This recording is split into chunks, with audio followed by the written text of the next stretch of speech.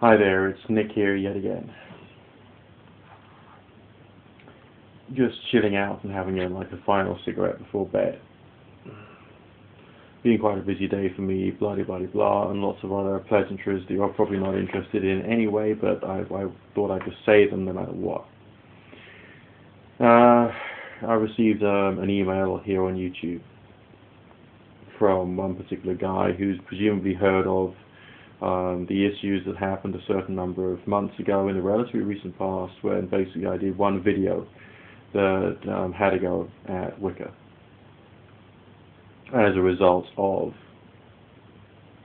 my experiences in Wiccan covens and my experiences in a certain well-organized, large, substantial festival that was very Wiccan orientated. The email quite simply said to me, you know, get over it. If they were true Wiccans, then they would have to obey their laws. Now,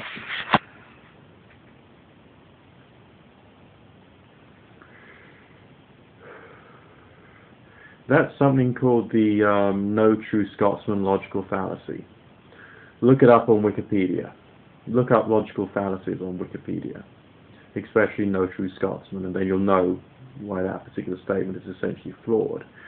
I've replied in very good spirits to that person saying, yes, I have got over it. In fact, I've got over a hell of a lot as a result of me being involved in debate and argument and discussion here on YouTube. I guess my concern now is trying to think about um, the forces which happen in a person of religion, of any religion, which can make them act in a way which is unpleasant. I mean, the experiences I had with Wiccans of any degree or level of experience have been very varied, I admit. Uh, I personally have an issue with people of religion full stop now, not just people of any particular religion. Uh, but with the Wiccans was most heavily involved with. It was, um, by analogy, a bit like sharing a flat with VenomFangX. Um, with bullying techniques and brainwashing techniques and cult techniques of a very extreme nature. That was just my experiences. So that's just what happened. So my my real interest now, which has returned into a much more analytical interest, is in what forces actually makes a person of any religion become like that.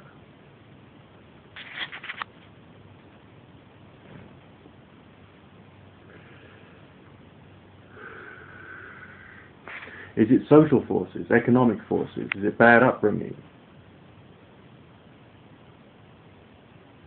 It is a theory of mine and it does seem to be corroborated in some cases that some individuals who've had issues with their parents when they were young uh, may take to regarding their deity or spirit guide of choice in the light of a parent. And the Wiccan religion is, because it has a male and a female mother and father deity, is um, very appealing to some people who have had issues with their parents in the past. I mean, who hasn't had issues with their parents? I mean, I'm, I'm obviously talking about something of a more serious nature than just a disagreement at some point. Um, so, but that's, you know, that's digressing, that's moving away from the point.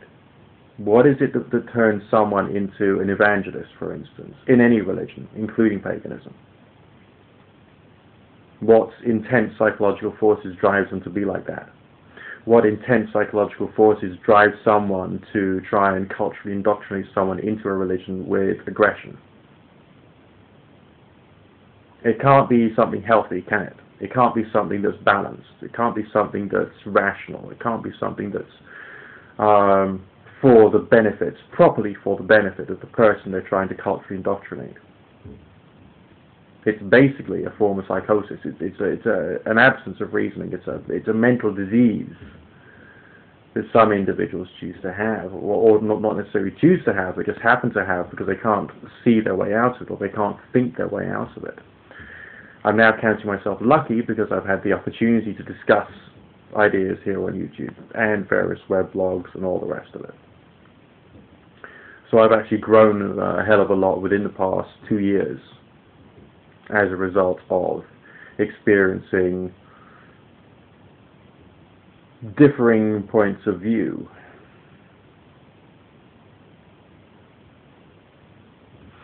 But this particular type of character that does religious indoctrination in an aggressive manner.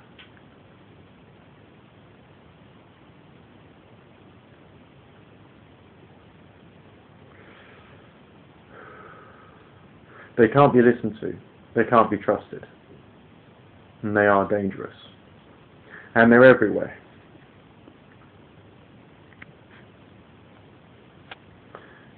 The problems and harm done within Christianity to other individuals that strive them to become pagans, for instance, will and do happen in various different forms within paganism against people who are getting themselves involved in paganism. I wasn't actually interested in the pagan religion when I was doing my um, young, youthful, exploratory bit. I was interested in magic because I had supernatural experiences and I wanted to learn to control them so I could try and find a solution to a disease which I had then and still have to a certain degree, which was at that time incurable. Those people chose me because I was weak. They wanted to do their thing with me. Is there anyone with a brain in their head who thinks that's nice? decent, appropriate? No. There is a lot of harm in religion, full stop. And the wonderful thing about religion, especially if you're a psychopath, is because there's always a way of using um, the, the confusing ideas or ideas within religion designed to confuse as a way of bullying or as a way of controlling people. And this is something which has to stop. So my more rational stance on the supernatural and the occult is to a certain degree designed to help fight that.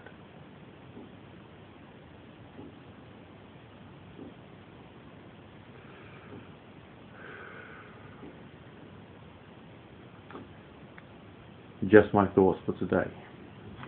And if you are watching this and you are in the pagan religion, in Wicca. You have a burden of responsibility to help turn your religion and your culture into something which does not have the same unpleasantness that you may have experienced in other religions. And maybe encouraging something like humility could actually be a good thing the humility to say, I am probably not correct, but this is where I'm coming from, this is why I'm coming from this position, and I'm looking forward to a more in-depth level of understanding with the passage of time.